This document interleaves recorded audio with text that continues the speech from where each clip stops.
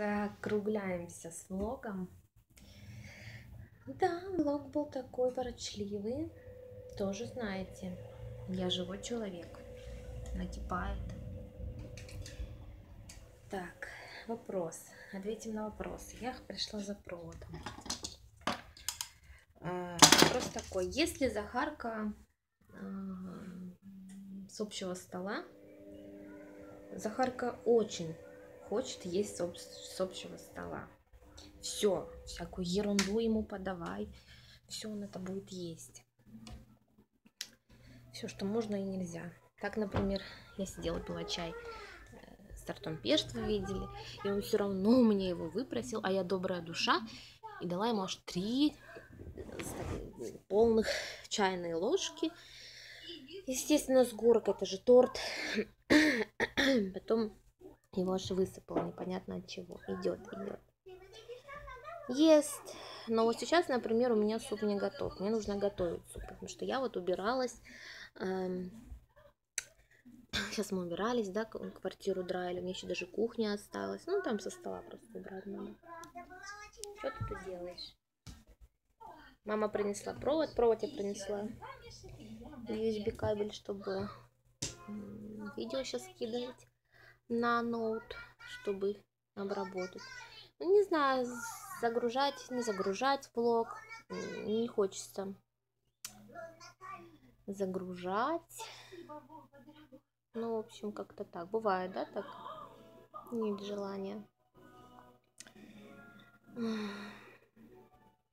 Вот, я говорила, что суп, например, у меня сейчас не сварен, я должна, по идее, супчиком, я его раздавливаю, наш суп, и даю Захарке. Сейчас у меня супа нет. Ни мне, ни мужу, никому супа нет. Я его только буду варить. Время уже 18.30. У меня уже скоро муж домой придет. Вот. Ну, у меня есть пюре и сосиски, овощи. Это нормально для, а, для ужина. Ну, папе нашему будет мало. Ну, с папой мы разберемся. Он все понимает, и папа знает, что у меня где-то что-то болит, мне бывает плохо, вы понимаете, у меня то понижается давление, то повышается давление. Это не шутки вообще-то.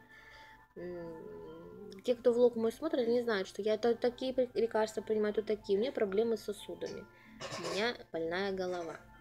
У меня бывают припадки. Я не, бывает не могу встать и приготовить кушать. Поэтому на меня одного ребенка оставлять нельзя, поэтому нужно, чтобы мне было рядом мои родители. Не жалко, что мои родители до конца этого еще не понимают. Хотя у моего папы уже инсульт был. У нас по папиной линии у бабушки был инсульт. У нее случился инсульт, она в итоге умерла. Понимаете? То есть у нас вот по папиной линии астм, астматики, э, астма да, идет и инсульт. То есть почему многие болит голова. Голова почему болит? Потому что не, все, неважно. Те, кто знают, те знают.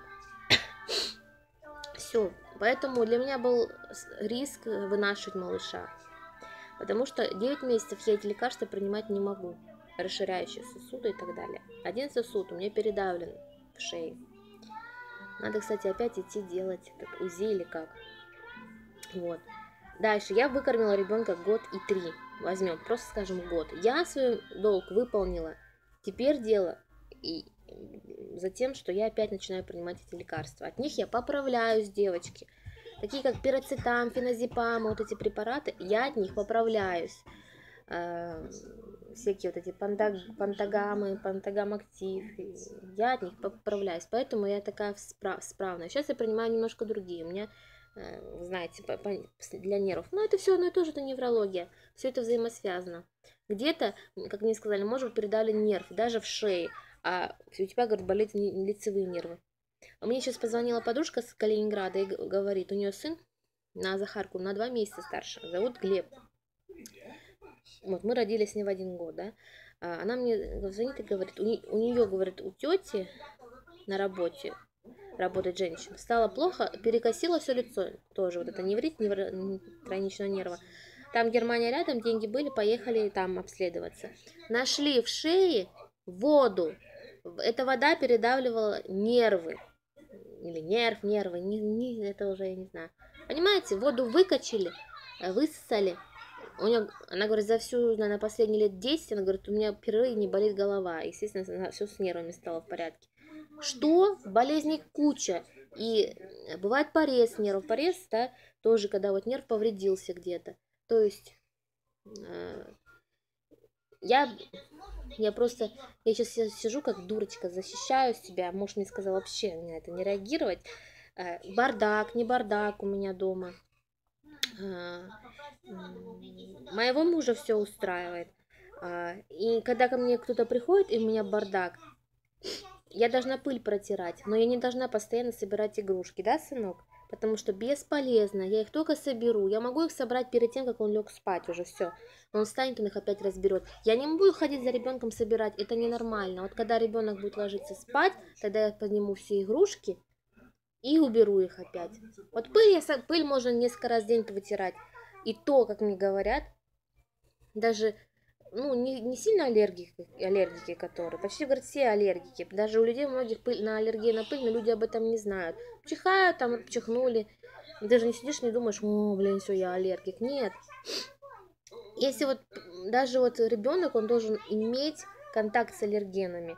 Поэтому а, дети, которые растут с животными, с собаками, с кошками, они уже изначально, когда родились, они уже имеют контакт с аллергенами. И эти люди, в соответствии, когда будут взрослые, уже у них, как правило, аллергии на, на это не будет, на кошачью на кошачью перхоть, там, по-моему, не на шерсть аллергии, а именно на перхоть, что ли, вот, на, ко на кожное выделение, вот эти. То есть, на самом деле, порой надо иметь, иметь э, контакт с аллергенами. Ну, так мне сказал аллерголог, я не знаю. Ладно, не важно. В общем, я себя вот... Последний раз я об этом говорю, больше говорить об этом не буду. Это, знаете, кажется, сидит человек, вот он нормально, а что у него внутри, что у него внутри болит, мы не знаем. Если вот он... Так мы идет инвалид, хромает, мы видим, что хромает. Э, даже тоже ироничный нерв. Вот перекосила харю человека, вот мы видим, да, теперь, да, все, человеку плохо, человек болеет. Давайте не будем допускать, да, чтобы ничего не перекашивало у меня, а это Короче, все, я закрываю эту тему. Видите, меня это задело. Я не хочу. Не... А такого не хочется ни влоги, ничего снимать. У меня вроде бы был иммунитет, потом что-то вот иммунитета нет. Это знаете, как ПМС, предменструальный синдром. Где-то вот эти последние три дня до месячных женщина все цепляет, она нервозная, она нервная. Такие у меня сейчас, хотя у меня не ПМС. В общем, ладно. Э, я про что говорила? Я говорила про...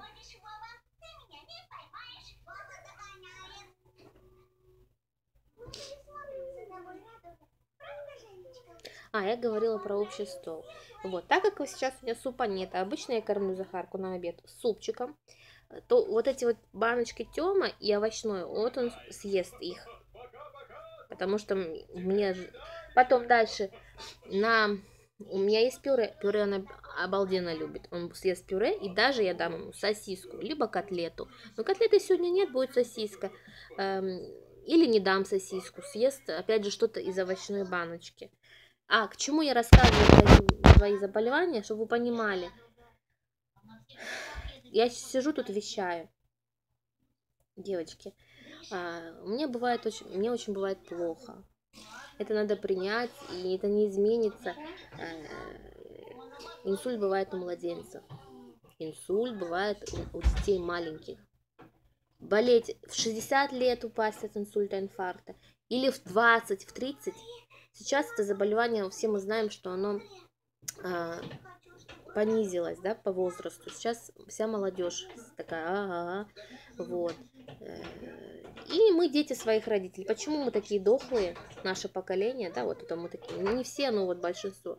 Это задавайте вопрос себе, старшее поколение, почему мы такие дохлые, почему такая плохая экология, э, почему те, кто вынашивал меня, или бабушка, мою маму, или кто там.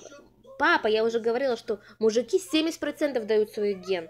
Мужики, вы пьете, бухаете, делаете детей, нюхаете то клей, кто-то, видать, наркотики принимает, на детей нас состряпал, это все передается с вашей спермой, и так создался ребенок, понимаете?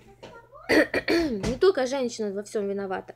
Женщина же что? Да, вот я, например, Захарку вынашивала, мы помним, да, в инфекционной больнице мне выписали антибиотик, мощный антибиотик. Они мне сказали, а что делать, надо при принимать. Я приняла, я взяла на себя ответственность, э, траванула ребенка, э, от этого, от этих антибиотиков, принятия антибиотиков рождаются аллергики потом. Вот почему. Почему у Кати на проблема с анестезией? Почему такая Катя кривая косая? Да потому что не просто так. Это именно все идет с того момента, с тех, э, вот, будь здоров, сыночек, с вынашивания детей. Курила ли мать, э, пила ли мать, принимала ли она какие-то препараты, лекарства. Какая была обстановка вокруг, нер, нерв, э, нервы. Я знаю, вот моя мама моя нервничала. Она, по-моему, даже руку сломала и она вот, помню, мне рассказывала, что она одной рукой, так как она была беременна, уже живот боль большенький был, она в комнату уже нужно э, в зал, к рождению меня, папа на работе был, и клеила она сама обои. Благо обои, знаете, может, у кого-то были эти квадратики прямоугольные, их очень часто все-таки клеили в коридоре, но у них они наклеены были в зале, как кирпичом. Короче, такие обои были. И вот этот кусочек Э, ей было как бы самой, ну представьте, здесь все равно до потолка, все, вот это она сама клеила с одной рукой, а другая рука была в гипсе. Я не знаю, что она там принимала, что она не принимала, говорит, что ничего не принимала, не суть, не суть. Я хочу сказать, что чем дальше, тем поколение дохлое, дохлое, дохлое. Люди все дохлые, кривые, косые. Я была у, аллерго... Э, была у стоматолога, она... я у нее спрашиваю, «А, когда меня вот на скорой забрали, я у нее спрашиваю, «Э, много таких э, аллергиков? Она говорит, сейчас очень много, раньше такого не было. Не знаю, либо они куда они ходили, молчали или что. Эм, ну, невозможно молчать, если у тебя болят зубы, правильно? Вот я сейчас разговариваю, у меня вот здесь, например, болит нерв потому что я перевозбуждена, я много разговариваю, при неврите лица даже разговаривать нельзя, улыбаться я вообще не могу. Я когда улыбаюсь, потом свожу назад губы, они у меня, ну, в состоянии покоя, и у меня вот здесь все не имеет. Вот. Очень, э, так-то оно не видно, понимаете? Э, она говорит, очень много аллергиков. Почему? Непонятно. Откуда мы знаем? Может быть, мы что-то делаем не так. Может, мы принимаем гомеопатию. Гомеопатия же стала э, БАДы. Ну, это я не говорю за себя про то, что аллергия на анестезию. Я про то, что, что с людьми, откуда это так много рака этого берется. Мы не знаем. Эм, мы только можем догадываться, ищем, а рак, да, это гриб, этот кандида в организме, это грибок, вот этот все там, плесень не знаю. Это я хотела рассказать по поводу того, что ест Захар. Ну, я как всегда рассказала. Нет, Захар ест, ест с общего стола. И еще плюс вот эти баночки ест. Вот и все.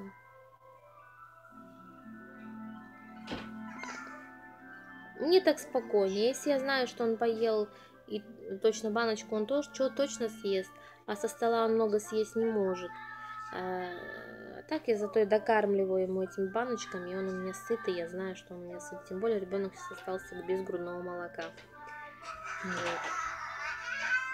Вот. Варю ему компот, эм, компот, э, не знаю, все-таки щечки у него постоянно красные, красные, прям с кусками вот эти шелуши, шелушки.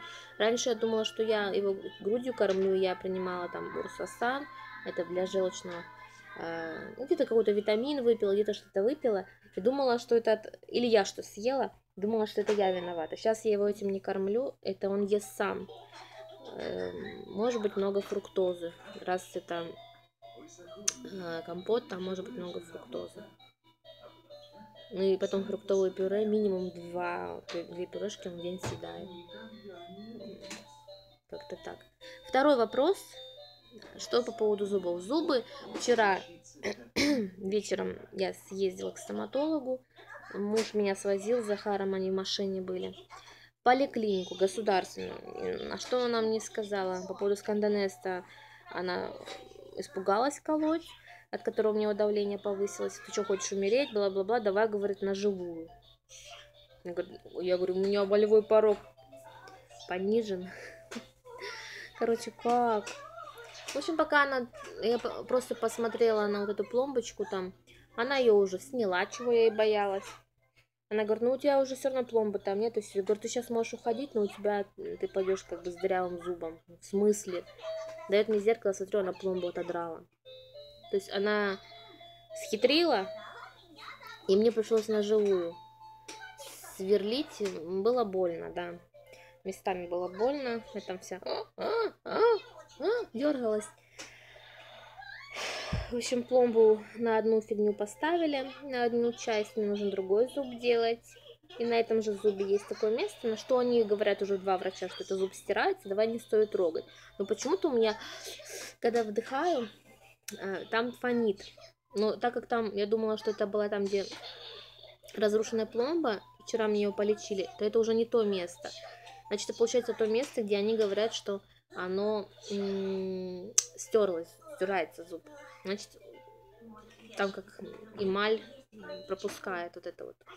Значит, они, понимаете, это на, коне, на конце зуба, и они говорят, мы посверлим тебе, ты, во-первых, охаешь, ахаешь, во-вторых, мы поставим тебе пломбу, эта пломба быстро слетит. А еще, девочки, я их ей сказала в стоматологии в государственной, говорю, вы мне самую лучшую пломбу поставьте. Эта пломба стоила 1100 рублей. Я забыла сказать в запаре, узнать какая это, не, не, немецкая или японская, потому что знаю только они лучше в данный момент. А, а, она, я так и не узнала, и для меня теперь непонятно, какая это пломба. И вообще муж мне сказал, что это очень дешево для хорошей пломбы. Потому что за все я заплатила, там за что-то, за что-то, за что-то. Вот 1100 пломба, плюс, плюс, плюс. За все я заплатила 1600 в кассу клини э, поликлиники. Он говорит, что этого мало, конечно. Дело не в том, что как это государственная поликлиника, возможно, там за процедуру, за работу, может, они не берут, я не знаю, да? Я это не узнавала. Вы знаете, у меня такой стресс был. Я уже подъехала, мне привезли в поликлинику, мне уже плохо стало, потому что действительно мне уже плохо и страшно. Это имеет место быть. А, там ничего я не поснимала, я же говорю, мне стрясло уже. А, и я когда зашла к ним в кабинет, там было четыре кресла. И работал телевизор. Мне это не понравилось это мне не понравилось. Ну, то есть, понимаете, государственная поликлиника, заходишь там четыре кресла, и я была, и еще три, трех человек. А лечили как конвейер. И про удаление зубов она сказала, что э, лучше, говорит, под общим наркозом удалять. И куда ты торопишься, не надо ничего удалять, ходи так. Я говорю, да. Я говорю, у меня, я нахожусь в детородном возрасте. Я могу в любой момент забеременеть. Ну, вы меня поняли, да? Правильно же? А, вот. Потом, извините, беременные под общим наркозом нельзя будет лечить зубы. А, также грудное вскармливание. Полгода хоть ребенка кормить надо, потому что он маленький. Ну, это ладно. Ну, короче, ни туда, ни сюда. И поэтому я говорю, надо удалять быстрее зубы, потому что, чтобы... Я тоже могу сейчас успокоиться, забить на это и забыть. А потом он... Э, как... Парапам. Все, ладно, давайте пока. Я уже, на... уже 18 минут болтаю. Представляете? Вообще, я считаю, необщительным человеком. Но... Все, ладно, давайте, пока-пока.